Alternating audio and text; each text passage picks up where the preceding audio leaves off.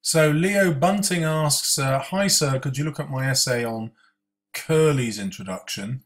Uh, well, it does look very short, but let's see how you do.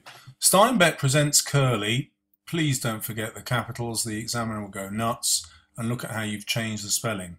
Um, in this extract, as an aggressive, arrogant, yet conflicted character, just once will do, and uses it to symbolize the theme of conflict in the wider novella. Now, that's a very good introductory sentence. Um, why is he introducing the theme of conflict, though? Now, that's a second sentence. What is Steinbeck trying to say about conflict uh, and the violence inherent in men? Uh, or, if you prefer to include, include Curley's wife in this, mankind. Uh, to begin with, at the start of the extract, Stein, you don't need any of that. Yeah, so Steinbeck presents Curley as a source of evil. He writes that a brown face and a great head of uh, tightly curled hair. Um, that's a clumsy way to get to your quotation. So he describes Curley as having a brown face and a head of tightly curled hair. You want your quotations to sit in your sentence. The adjective brown is key to Curley's personality.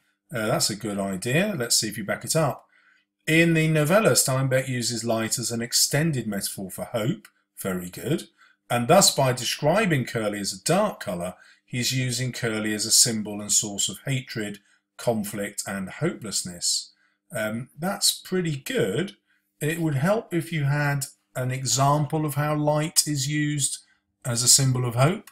Um, for example, Lennie saying, I seen your light, um, to Crooks, uh, symbolically Lennie seeing the goodness in Crooks, the only person uh, arguably to see beyond the colour of his skin.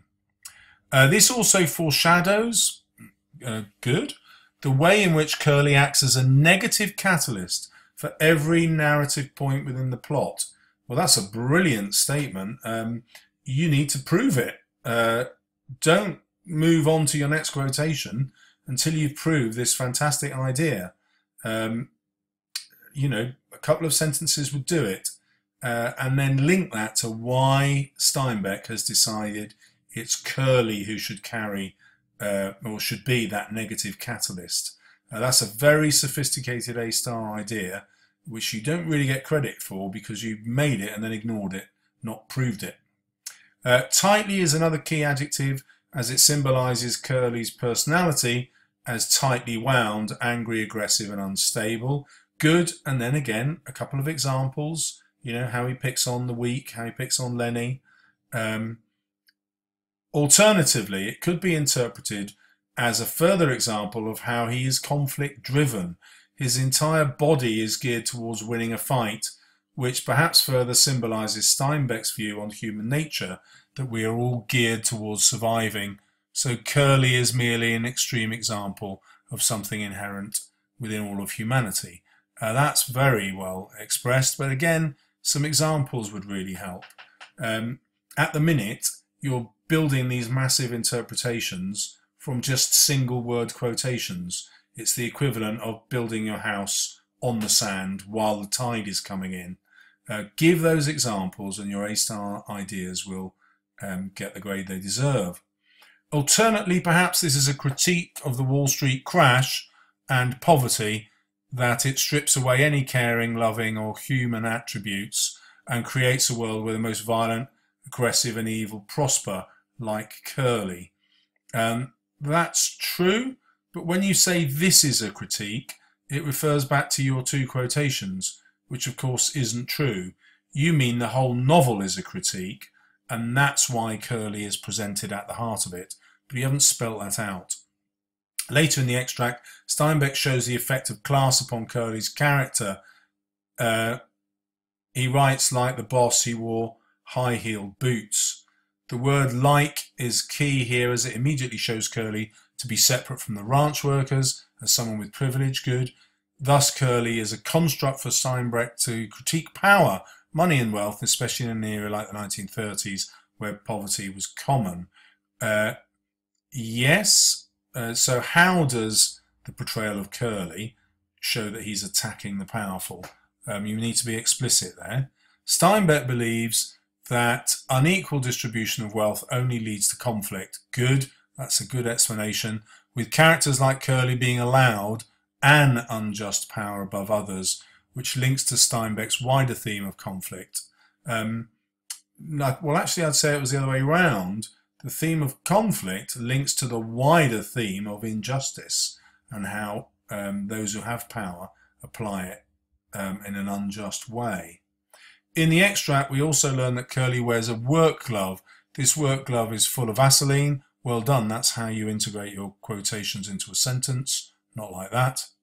Uh, as we learn later in the chapter, it's used to keep his hands soft for his wife, just opposing the rest of his personality. Uh, yeah, okay, what's the purpose um, behind that? Um, repeatedly in the novella, the characters are disgusted by this notion, and now you're going to tell us why um, it's included. One interpretation of this is that it's because it's another examples of Curley's advertising his wife's sexuality and thus showing arrogance. Well, that's true. However, another more successful interpretation shows it as Curley trying to break out of the tough guy stereotype and soften himself. Um, that doesn't really work for us uh, with what else we know about the novel, particularly as Curley's wife's testimony to Lennie is that um, he's always talking about the old one too. You know, he, he's not soft with his wife either. He's he's the topics of conversation are all full of violence, and of course we can also see how desperately she tries to escape him on the ranch. So there cannot be a soft side to him. Uh, yet both the men and his wife focus on his meanness, and thus it's fated to be a failure. Good, and we might talk here about why Curley's attempt at softness fails. Um, it's only superficial, it's not skin deep, it's literally between the skin and the glove. This shows Curley to be oppressed by the sexist society of the 1930s. That's interesting. Uh, so what you're suggesting is that Curley behaves in this ultra masculine way because society has told him that that's the way that men ought to behave. Um, but you haven't really spelt that out. It's an intriguing idea. Uh, and conflicted by who he is and society's predetermined role. Um, okay, that's a really good idea which you need to develop. So will this get an A star? No, it's much too short. Um, it's written very well, but uh, you need more examples. Um, so at the minute, the examiner is thinking, has he written enough to to be consistent? Um, can I give him an A? Uh, he writes like a student with the vocabulary who certainly deserves an A, but has he given me enough examples uh, to back it up?